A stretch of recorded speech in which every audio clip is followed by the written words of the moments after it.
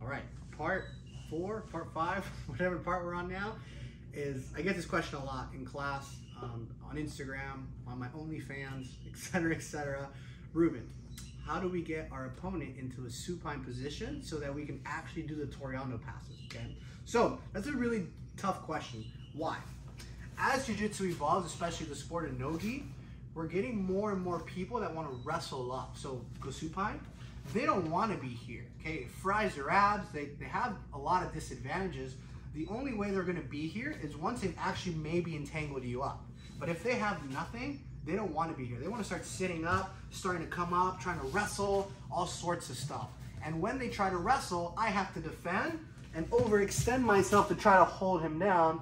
And now we end up on the knees in a pressure situation where he has butterflies, leg entanglements, etc. Okay, so there's like three methods that I use to get somebody supine. Now, I'll preface this by saying you can't use one or the other. You have to combine them uh, in order to get success with this. Okay, I'll just show you the first three.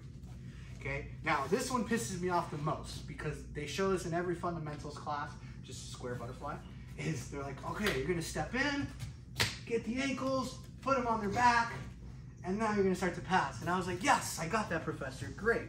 And then you try it in sparring, you're like, shit, that doesn't that doesn't really work, okay? And it, it, it, does, but it has to be the right situation. Okay, so that is a valid way, is to pick up the ankles and try to put them back, okay? But if you have somebody explosive, right, like if he'll put his hands on the floor, he'll start to out me, and now I lose the grips. And then you're like, okay, that didn't work, okay? So first things first, is the first method we need to look at is using a push and a pull. Now, that's all gonna be reliant on head position. I don't want a situation where my head is higher than my partner's head and he can come up and wrestle. So I want to have head height. Okay, now this is a tough stance to hold, especially for a 10 minute match. So I'll take some breaks, I'll move around, and then I get back to my stance where I block my lead leg, just like in wrestling. I'm matching head height. Now I'll start to push on the shoulders, trying to get him back. Now if he falls back, great. Now he's supine, okay? I'm not a super strong person, so that won't work for me. But what I use, I start to get him thinking, get him thinking to where I can go headlocks, boom, okay? Oftentimes what tends to happen is they'll defend and they'll overreact. As they overreact, I take a same side ankle, not to pass, but to get to the supine situation. Now I'm past the hip line, he's laying down. Now he's reacting to my moves. And now, go ahead, move. Now I'm trying to pass, and now he's here. The worst mistake I can do is get him there and give him space to come back up. So again, match head height, pushing and pulling, pushing and pulling, front head. I go to the side of the headlock by capturing the ankle. Only when he pulls back to defend. And now I have control of this, I have control of this ankle and I can switch to the knee and the hip. We start to use these passing methods to, to uh, go into my Toreando series. Okay, so that's method two. So we looked at ankles, pushing and pulling. And the third one, again, not my favorite, but you have to combine it with these, is just out trying to outflank them, trying to blast past them. Okay, now, this one's a little more challenging, seated. If you have somebody who knows how to play a good seated guard, he knows he needs to mirror my leg here. Why? He is inviting me to take this space. If I go here, he can foot sweep me or block me, got foot sweep behind, and start to get me off balance. Okay, so he knows that this is my pathway. So I need to switch stance. If he doesn't switch stances, now I can outflank him. But a good guard player is gonna switch with me.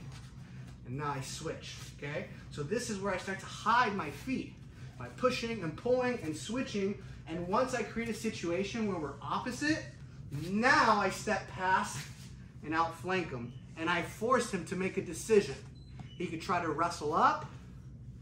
He could try to fall to his back and start to play guard. Or he might even turtle. That's not up to you. That'll be up to your partner. If they do go supine off of this, then great. That's where we want it to anyway. So again, this is this way. So I'm right and he's mirroring the leg. If I try to blast past him, it's never gonna happen. If I try to go this way, I don't have the reach. So I have to switch my stance. But he's gonna switch, so go ahead, switch. So you have to hide it behind something. And when he doesn't switch, is your time to use that crescent step to block. And now here's the, the three main situations. He can wrestle up, you have your down block arm ready.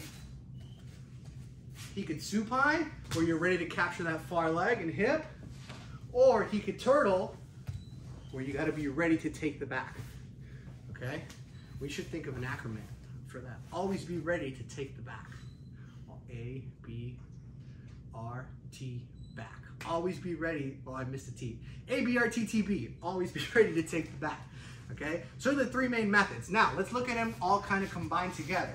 So, uh, seated, scoot back. So I'll be playing around, matching head height, trying to get those ankles, trying to blast, trying to move till I find a good opportunity. See how I kind of got him on this angle? He's kind of on his side. It's really hard to tell if you weren't actively looking for it. This is a good time to be a brute and push shoulders. Okay, if he's square, go square. I'm gonna sit up. I'm gonna try to hit him. Well, I won't hit him, but I'm gonna try to push him hard. It's hard, right? Like it's really hard to, he got his hands. When I get him on his side, now stay there. It's hard to defend, right? Like he can attest. So if you can get him to a side, that's when we can use those pushing methods. If we can't, we use those headlock methods, trying to get those ankles, trying to pick him up.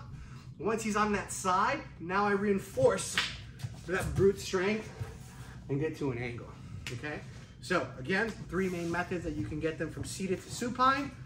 You gotta interplay them together to get the best success. Hope you guys enjoy that.